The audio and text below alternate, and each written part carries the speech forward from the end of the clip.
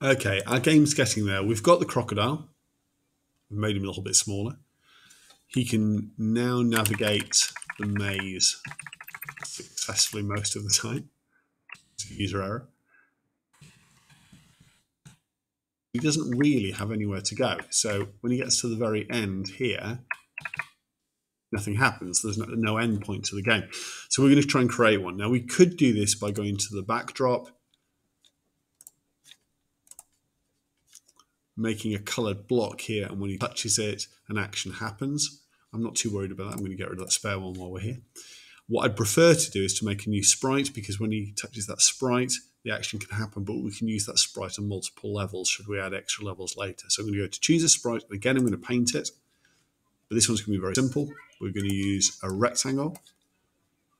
A white rectangle is not very exciting, so we're going to make it into a coloured rectangle. Can't be a red one because otherwise it will interfere with the one we've already got. So I'm going to choose a purple rectangle. We're going to add some text and I want the text to be white so it shows on here. And I'm just going to write end with a more imaginative name. And I'm going to use my arrow key or my pointer to make the end a bit bigger. You'll see this is a little bit gigantic, so we don't want that. So we can change the size to 20, which should fit nicely there. We're going to name it. I'm going to call it end, game end or something like that, level end, you choose.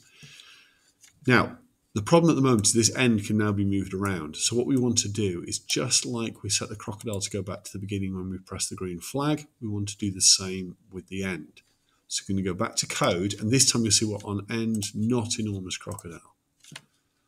We're going to use an event block within here, so we're going to use the when the green flag's clicked. Zoom in a bit so you can see that we're going to use a forever loop again that's constantly doing it. And what we want it to do in this case is we want to set the position for end to here. Okay, so when the green flag's clicked, always it should be putting this here. So if we press on here and I try to move it, it just gets pulled straight back. Okay, so there's no cheating on this bit of the game now. This works now, but even if I take my crocodile to the end, there's no result. So we need to change that as well. So this time within the crocodile, not the end, we want to do the same thing. So when the green flag's clicked, just like before, we want to set a forever loop.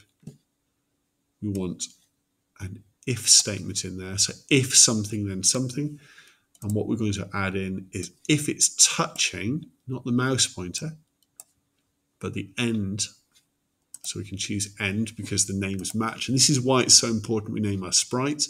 So when the green flag's clicked forever, if it's touching the end, well, what could happen? Well, we could just have a message saying, I've done it. So I'm just going to go to looks and I'm going to say, I got there or I did it or something like that. And then just to make sure the game is clearly ended, I'm also going to hide my crocodile at that point so the game's clearly over. So we press green flag now. Cheat a little bit just to show you. Drive my crocodile towards the end. It says I got there, and then afterwards the crocodile ends. Okay, and that makes a clear end to our game.